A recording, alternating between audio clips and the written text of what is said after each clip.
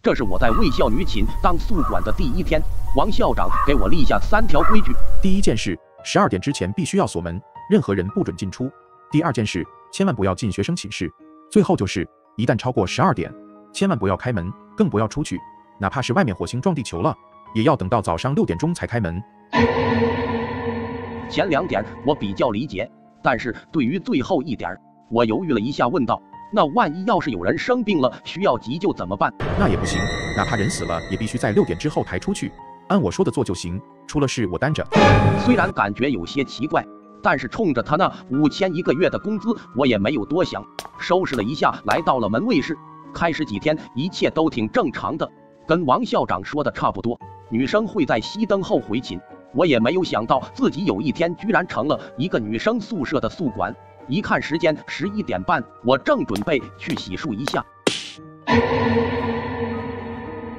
大爷，商量个事呗。长这么大第一次被人叫大爷。我没好气的回头，你好好看看，我是大爷吗？嗯，听室友说来了个新宿管，我以为是个老大爷呢，没想到是个小哥哥。你叫什么呀，小哥哥？我叫王小桶，你有什么事吗？赶紧说。小哥哥，我钱包丢了，你能借我二十块钱吗？家里突然出了点事，我想打车回家。我看他一身也挺洋气，这也不是啥大钱，就从身上掏出张一百的递给他，你先拿着吧，到时候别不够，记得还就行。谢谢你啊，那。这瓶饮料给你，我叫莹莹，明天就还你。别别别，我不喝这种东西。你就拿着吧，我最近在减肥，不喝你就扔了吧。莹莹说着就跑出了公寓，注意安全啊！我看了一下手表，十一点三十五分，连忙去洗漱了。洗漱完出来一看，还有十分钟就十二点了，我就准备去锁门了。走到门口，突然看到外面站了一个穿白色连衣裙的女生，看着挺瘦弱的，眼睛红红的，像是哭过一样。看着有点可怜，你要进来吗？她没说话，只是点了点头。我就开门把她放进来了，一边锁门一边说：“下次要早点，再晚点就进不来了。”可当我一转头，女生已经不见了。走这么快吗？睡前我特意调了一个五点五十分的闹钟，准时起来开门。咋说呢？门卫室环境还行，就是不知道哪个女生。好像是跟男朋友分手了还是怎么的，哭了一晚上，听着挺瘆人的，整得我一宿都没睡踏实。早上刚睡醒的时候，感觉有点渴，我就想起昨天晚上莹莹给的那瓶可乐，打开刚喝了一口，我差点没喷出来。什么破玩意儿，长这么大我就没喝过这么难喝的可乐，一点气都没有，跟过期了一样，感觉不太对劲。于是我看了一眼生产日期。二零一七年七月八号，这瓶可乐早在三年前就过期了。这瓶可乐居然已经过期三年了。我又看了一眼瓶身，却发现原来的商标上贴着一张贴纸，上面写着“送给我的好好男友”。我想他可能是拿错了吧。想着晚上的时候问问他。七点左右跟我倒班的王姐来了，她负责早班，我负责晚班。我跟她聊了一会儿。突然瞄到边上钥匙盘上有几个是空的，没挂钥匙，就随口问了一句：“王姐，觉得那几把钥匙哪去了？学生借走了吗？”王姐一听，突然顿了一下，才缓缓道：“那几把钥匙被校长收走了吧？咱们公寓学生不多，五楼的宿舍没人住，你没事千万别往五楼去。”我知道了，总感觉王姐话里有话。就这么过了一个星期，奇怪的是。我又在周三晚上遇到了那个穿连衣裙的女生，还是红着眼，可怜巴巴。我一看时间，愣了一下，十一点五十分，我放她进来了，她还是一句谢谢也没有，直接上楼了。我当时就觉得这小姑娘挺没礼貌的。接下来一个多月，我都再没有见过莹莹了。我寻思她是不是家里出什么大事了，要不然怎么学都不来上了。但是每到星期三的晚上十一点五十分。这个穿白色连衣裙的女生总是会准时出现在门口，而且从来不说话，就这么站着。我当时也没多想，因为学校星期三下午没课，挺多学生出去玩的，晚点回来也正常。但像她一样这么晚而且准时的还真没有，主要是衣服也没换过。现在已经到了冬天了，外面怪冷的，我忍不住问他：“你为啥不换衣服啊？不嫌冷还是咋的？”他抬头看了我一眼，也没说话。就只是看着我，看他这样，我倔脾气也上来了。好歹我也是天天给他开门，他不谢我就算了，话都不说就太过分了。我就往那一站，没给他开门，没想到他更绝，就面无表情的看着我。最后还是我怂了，放他进来了，因为还差一分钟就十二点了，我也不敢犯校长说的忌讳。第二天，我特意去找王校长，问他知道这个女生不？我只记得王校长当时表情不太对，支支吾吾的说没印象，让我不要管那么多。就这样干到十月末，这天周三晚上十一点半，王姐突然进来了，我挺惊讶的。王姐咋这么晚来了呢？嗨，别提了，我晚上走的时候太挤，手机落这里了。我回头一看，还真看到了她的手机，递给了他。小桶，你这有纸吗？姐肚子有点疼，想上个厕所。厕所有，王姐你得快点了。马上十二点了，校长说超过十二点任何人不准进出，这规矩你也知道。好的，我知道了。但后来我等了差不多二十分钟，也不见王姐影子，我心说不会掉坑里了吧？刚想出来催催她，就看到那个穿连衣裙的女孩准时出现在门口，还是那副表情。我正准备去开门放她进来，别开门。给我吓一跳，回头看见王姐一脸煞白的站我身后，为啥不能开门呀？这还没到十二点呢。小桶，你信姐不？你要信姐的话就别开门，千万别让她进来。说完，王姐就拽着我往门卫室走，跟疯了一样，力量大的出奇。一边被拽着走，我一边看向门口，那个女孩好像在对我笑。回到门卫室，我还是头皮发麻，啥情况呀？王姐，那个女孩是谁？为什么不放她进来？哎呦，小桶，算姐求你了，别问了，就当啥事也没发生过。以后那个女孩出现，也千万别放她进来，知道吗？人家也是学生，凭啥不让进呢？我却只看见王姐一直在摇头，嘴里嘟囔着别问了，别问了。我一看表，马上十二点了。王姐，你赶紧走吧，快到点了，有什么事明天再说。小桶，姐今天不回去了，跟你在这挤一晚上行不？这怎么行？咱俩待一晚上像什么话？不知道还以为干啥了呢。不会的，我睡地上也行。明天早上六点我准时走，保证不多留。求求你了，让我住一晚吧。那也不行，你赶紧走。我没有理会王姐的耍无赖，干脆把她拉起来，拖着往外走。王姐就像一条死犬一样，任由我推了出去，站在原地张望了好半天，才颤巍巍的迈开步子。我连忙去锁门，可王姐刚走没几步。那个穿连衣裙的女生不知道什么时候出现在他身后，跟着他，王杰也没有反应，两个人就一前一后走出了我的视线。从那晚起，之后就发生了一连串的诡异事件。第二天，我接到王校长的电话，说王姐请假了，让我帮王姐顶个班。我当时也没在意，谁知道今天特别倒霉，外卖被不知道哪里来的黑猫打翻，在宿舍走路都能踩到奥利给。胸口也无缘无故特别闷，郁闷的我只能躺在床上，惹不起我还躲不起吗？我忘了自己是怎么睡着的，就记得自己在半睡半醒中挣扎了挺长时间，隐约好像听到有人敲我窗户，睁开眼一看，站在窗外的居然是消失了几个月的莹莹。我怀疑自己是不是在做梦，估计是自己想一百块想疯了，但莹莹又敲了两下，喊了一声，我才知道这不是梦。你咋来了呢？我这不是今天才回来吗？想看你还在不在这干？那肯定啊，你还没还我钱呢。我不干了，不是便宜你了？莹莹一听脸红了。你在这等慧儿去，我等等去拿给你。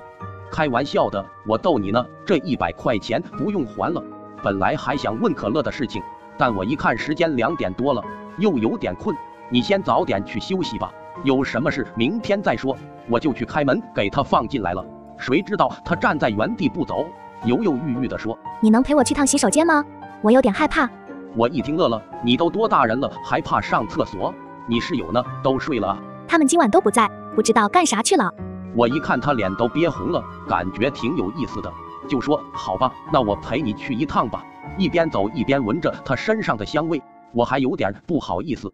走到厕所，站在这里等我啊！我不出来，千万不许走。行，我站在那玩了会儿手机，没想到他挺快的。还不到一分钟，就感觉我的肩膀被拍了一下，那我就先回去了。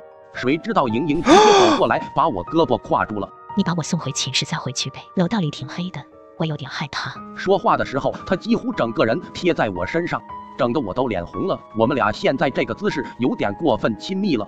我本来想一把推开他，但是他总是有意无意的用胸蹭我的胳膊。好家伙，我也是个血气方刚的小伙子，哪里经得起这样的考验？所以当时我就跟着了魔似的，被他蹭的心跳加速，也忘了推开他的想法，被他拉着往前走。说实话，我毕业之后还是第一次跟女生贴这么近，还有点小激动。一直走到寝室门口，他才放开。那一瞬间，我还有点失落，愣了一下。莹莹一看就笑了，怎么说，舍不得走了？这一笑直接把我的魂都勾走了。但我不能表现出来，这不是看你进去我就走了吗？就这么回去啊？要不要进来聊会儿？我室友他们今天都不在。我连忙摇头，不行的，学校有规定，不能进学生寝室。何况我还是个男的。怕什么？这里就咱俩，又没有别人知道。快进来吧。说着，莹莹就走了进去。我看着她那前凸后翘的背影，心里在不断挣扎。说实话，我是真想进去，就算不干点啥，多待会儿也赏心悦目。但是想到王校长的规矩，心里有点害怕。快别磨蹭了，我一个小姑娘都不害羞，你还矜持什么？这动静太好听了，又纯又欲的声音让我有点把持不住，不自觉想往屋里走。王小桶，嗯，听到有人喊我，我下意识回头。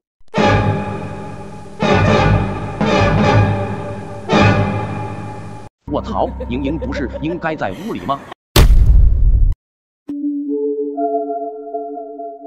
如果说我面前的这个人是莹莹，那寝室里的又是谁？想到这，我腿都开始哆嗦了，不敢回头。我想，我要是回头了，那画面肯定会让我这辈子都忘不了。莹莹也不傻，听我这么说，马上跑过来拉着我的手，跟我走。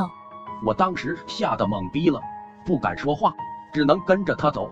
刚走出几步，身后就传来另一个莹莹的声音：“小童，小童。”我还等你呢，你要去哪儿啊？我当时就差点吓尿了，跑，赶紧跑，千万别回头！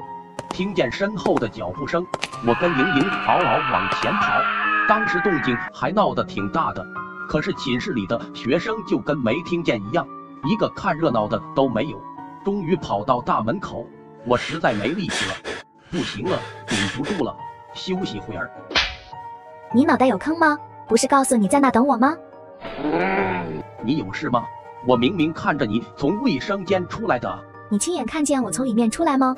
本来我想说是，但一寻思当时是身后有人拍我肩膀，我也没看就跟着走了。想到自己刚刚还跟他挽在一起，我就头皮发麻。我刚才遇见的是啥东西啊？这我哪知道？这个学校里上吊的、割腕的都有过，谁知道刚才那是啥东西？你当时咋想的？来这里上班？我这不是因为找不到工作吗？那你知道在你之前有两个男宿管出过事吗？开学那会儿有个老大爷，干了一个星期就被抬出去了，说是中风了。之后又来了一个退伍兵，听说没超过一星期也精神不正常了。你倒是干最久的。王校长没跟我提过啊？我说怎么只用干半天，工资就有五千，还可以睡觉，这么舒服。你拍我干什么？我没拍你啊。妈呀！莹莹喊了一声，又拽着我往前跑，身后传来一个声音：“小童，你为什么躲着我呀？”我更害怕了，心扑扑的跳，都快要跳出来了。最让我生气的是，这时候手机还响了，谁大半夜没事打电话呀？害怕把他引过来，我赶紧给挂了。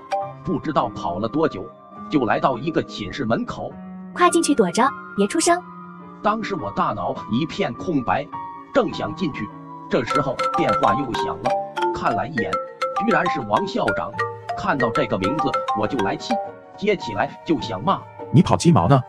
我跑你妈呢！老子和你无冤无仇，你为啥要害老子？谁的电话呀？你把嘴给我闭上，别出声，我正在盯着监控呢。你好好看看自己在什么地方。王校长的话让我有点迷糊，抬头看了一眼。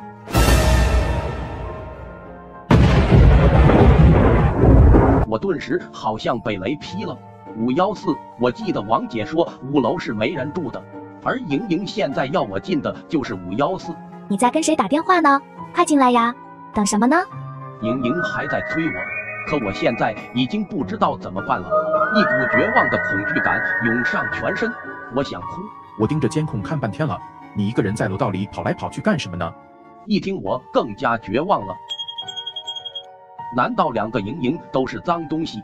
莹莹好像知道了什么，你相信我吗？我没说话，退后了一步。小桶，你相信我行吗？我真的不会害你。莹莹的话特别真诚，但是我现在谁都不敢相信了。往后退了几步，信个嘛？你们都骗我，都想害我，都给我滚！我发疯了似的往回跑，一路跑回门卫室，把屋里所有灯打开。我打开手机，播放歌唱祖国，声音开到最大。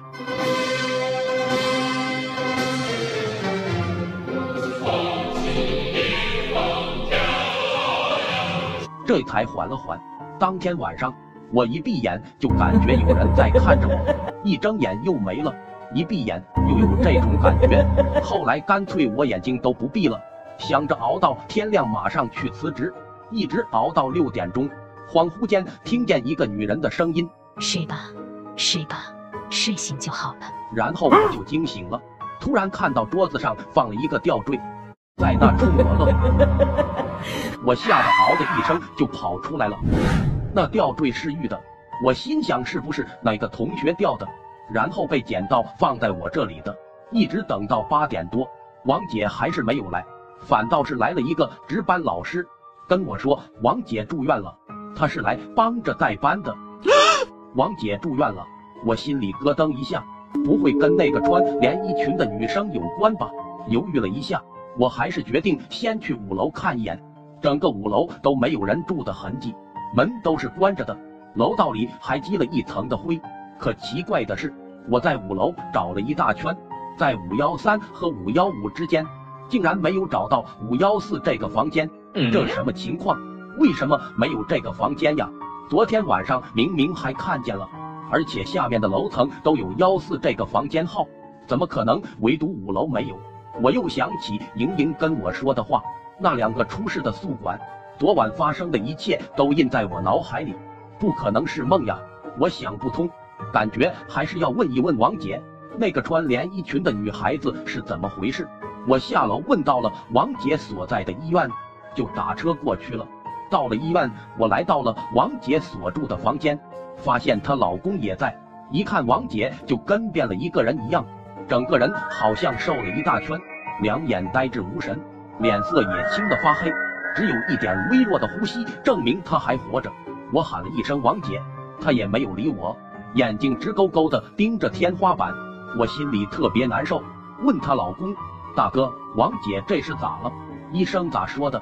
医生说应该是心理疾病，可能受啥刺激了，建议我们转精神科。我又想到了那个穿连衣裙的女孩，昨天就是她跟在王姐身后，之后就出事了。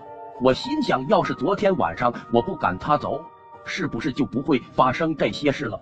感觉有点内疚。我又说大哥，你怎么不给姐看看有没有虚病？怎么还认出虚病来了？我就把昨天晚上发生的事情都一五一十的跟大哥说了。在我说话的时候，她老公就一直用一种特别奇怪的眼神看着我。咋了，大哥？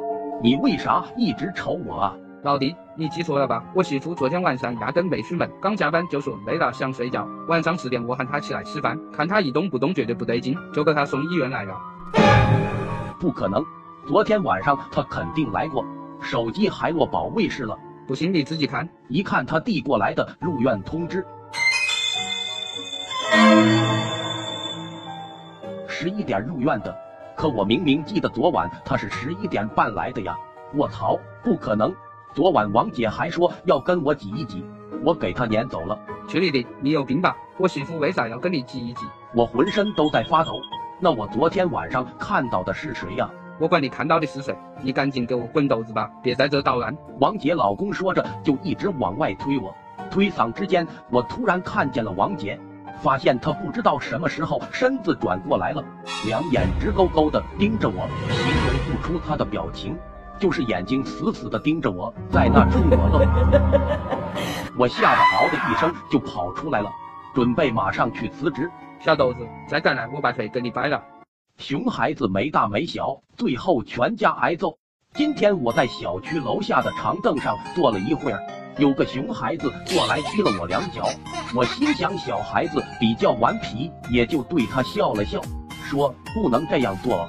结果无语的事情发生了，熊孩子二话不说过来冲我吐了两口口水，我站起来吓了那小孩一下，他马上就跑，我就坐下继续玩手机。突然感觉后脑勺被什么东西砸了一下，转头一看，熊孩子正在用石头砸我，还在那挤眉弄眼的骂我挑衅我。不知道跟谁学的，现在的小学生什么脏话都会说，骂了十几句都不带重样的。本来看他是小孩子，不跟他计较，结果蹬鼻子上脸，泥人还有三分火气呢。说时迟，那时快，我一个箭步冲了上去。那小孩见状还想跑，我一只手抓住他的后领子，就把他提了起来。谁爱惯谁惯，我可不惯着你。我对着他的屁股就来了一脚，屁股肉多，打打没事。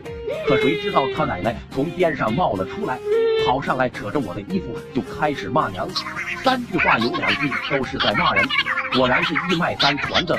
我平生最讨厌别人骂我妈妈。边上围观的人也开始指指点点，我跟他解释，他也根本不听。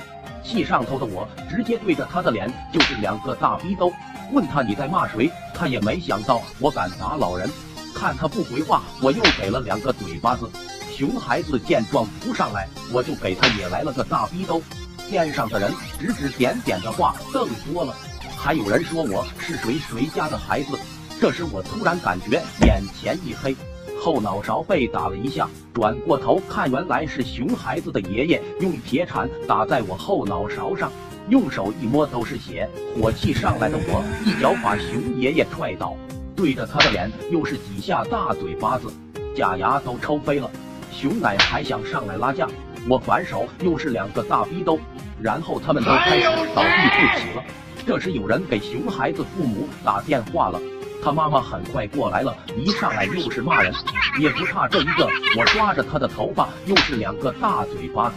熊孩子爸爸虽然生气，但还是比较讲道理，打电话叫了幺二零。我后脑勺被熊爷爷敲裂了，这么长时间流的到处是血，看着比较吓人。这时我爸妈也闻讯赶来了，我妈妈一上来就抱着我哭。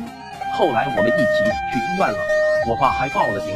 医院检查结果出来了，熊孩子和熊奶都被我打的轻微脑震荡，熊爷爷被我打的轻微骨裂。